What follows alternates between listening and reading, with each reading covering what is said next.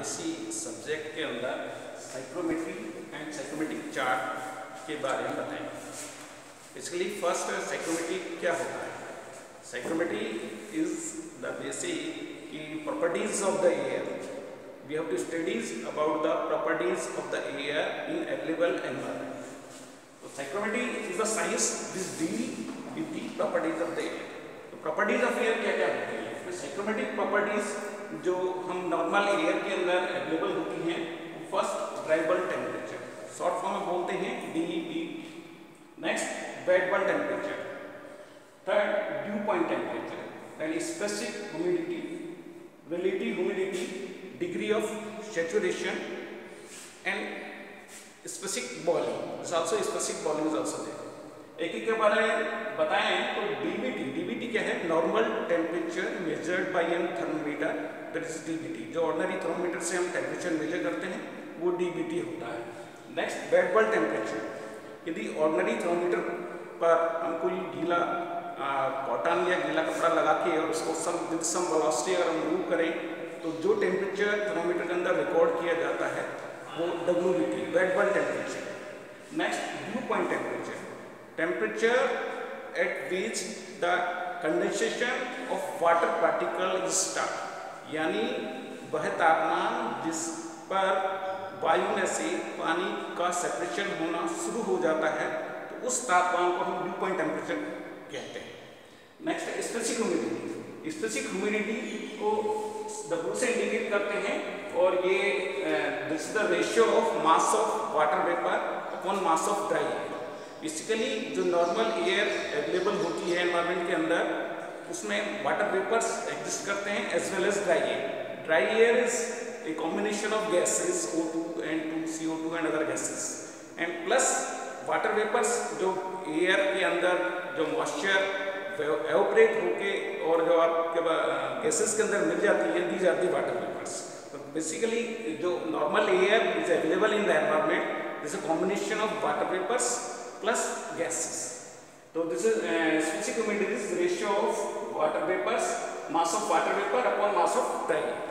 तो M W upon M M is W is the mass of water vapour and M is the mass of dry now अगर हम इसका analysis करें थोड़ा सा तो from gas equation air is act as a perfectly gas तो gas equation से हम लेंगे तो mass of water vapour equal to PV equal to MRT से हम लेते हैं. तो mass of water vapour P W V R W N T V is the volume of total air क्योंकि जो वाटर वेपर्स होते हैं टोटल वॉल्यूम में एग्जिस्ट करते हैं T is the temperature of moist air ऐसे ही एम ए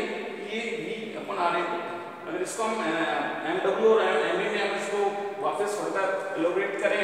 तो ये रेशियो आता है M W upon M is equal to P W upon P है ना? इसमें आर ए और आर डब्ल्यू दिख जाती है गैस कांस्टेंट और गैस कांस्टेंट को हम यूनिवर्सल गैस कांस्टेंट निकालेंगे, और universal gas constant upon molecular weight of air as well as molecular weight of water vapours उसका हम अगर रेशियो रखते हैं यहाँ पर तो then M W upon M A यहाँ पर आ जाता है। Mass molecular weight of water vapours and molecular weight of air तो मॉलिक्यूलर वाटर वेपर का 18 होता है एयर का 29 होता है देन इस ratio is 0.622 and PW upon P PW और पीए जो टोटल प्रेशर जो एयर का जो एनवायरनमेंट के अंदर just like an atmospheric pressure होता है तो उसमें P is equal to PW plus PA तो नाउ पीए को you can write it P minus PW तो PW is partial pressure of water vapours now इन सभी प्रॉपर्टीज़ जो भी प्रॉपर्टीज़ नेक्स्ट जो प्रॉपर्टी हूँ रिलेटिव ह्यूमिडिटी है this is mass of water vapour assisted with the unit volume of air and mass of water vapour assisted with the unit volume of air in saturation condition इसका ये ratio होता है relative humidity in सभी properties को हम एक chart जिसे known as psychrometric chart के अंदर हम शो करते हैं। साइक्रोमेटिक चार्ट जो सामने दिखाया गया है, इसमें इंडिविजुअल लाइन के बारे में बात करें तो जो हॉरिजॉन्टल लाइन है, वो डीबीटी को शो करती है। नाउ स्पेसिफिक ह्यूमिडिटी जो है, ये अपनी वर्टिकल लाइंस को इंडिकेट करेगी, जो कि आपको यहाँ पर दिखाया गया नेक्स्ट जो आती है इंक्लाइन लाइंस होती हैं, ये वेटबल टेम्परेचर लाइंस होती हैं एज वेल एज इनसे हम एंथैल्पी की मेजर कर सकते हैं। एंथैल्पी जो लाइन होती है जो वो वहाँ पर ये चार्ज के बिल्कुल एक्सट्रीम तरह से हम यहाँ पर किलोजूल पर केजी ऑफ़ ड्राई एयर में मार्क की हुई होती है। इसके अलावा फिर relative humidity line relative humidity line curve line जो एक्सट्रीम लाइन है ये 100 को दिखाती है। दिस इज़ 100 परसेंट इसके बाद जो जैसे ही ये नीचे को जाती है तो आर एच जो है आपकी घटती जाती है। Dry bulb temperature wet now dew point temperature dew point temperature जो हॉरिजॉन्टल लाइन ह्यूमिडिटी को दिखाती है, वही dew point temperature dry bulb wet bulb dew point temperature at 100 percent R ये तीनों लाइन जो हैं